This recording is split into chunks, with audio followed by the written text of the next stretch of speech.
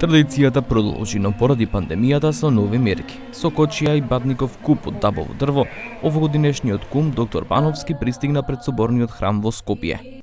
Само уште малку трпение да не расипиме работа на крај. Ке имаме пубава година и до година да се собереме како што приличи на секој бадник овде оро да се игра музика. Граѓаните кои ги анкетиравме пак според верувањето, кај да си за бадник дома да си. Величествено.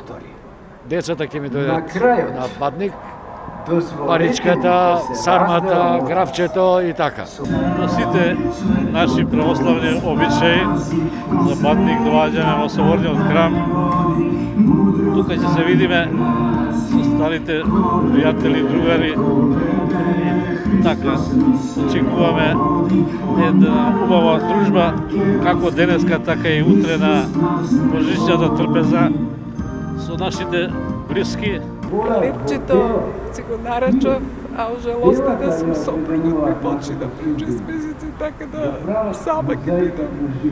Покајанието и поправањето се најдобриот лек против сите болести на телото и душата, советува во своето божично послание поглаварот на Македонската православна црква Охридска архиепископија господин господин Стефан.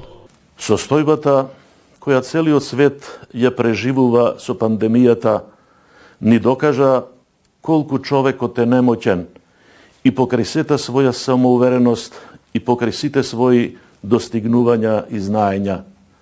Но најстрашната пандемија на денешницата е тоа што луѓето заборавија да го љубат Бога и да ги љубат луѓето. Но дел од граѓаните и синоќа славеле, па реагираа и од Министерството за внатрешни работи. Десетина лица в Скопско Орман се приведени, Министерството апелира до граѓаните да не организираат било какви собирања, односно да ги почитуваат мерките за справување со коронавирусот. Во югозападните делови од земјава пак огнови беа гаснети со помош на противпожарни единици. Оваа година изостанаа традиционалните бадникови поворки, а од Македонската православна црква информираат дека откажани се и сите масовни собири кои требаше да се случат во периодот кој следува.